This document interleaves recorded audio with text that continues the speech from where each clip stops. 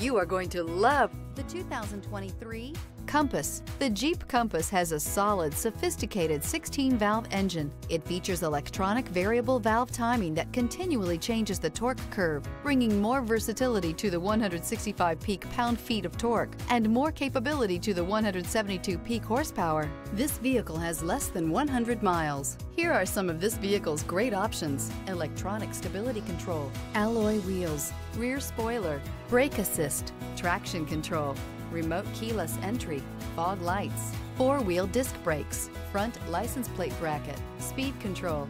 A vehicle like this doesn't come along every day. Come in and get it before someone else does.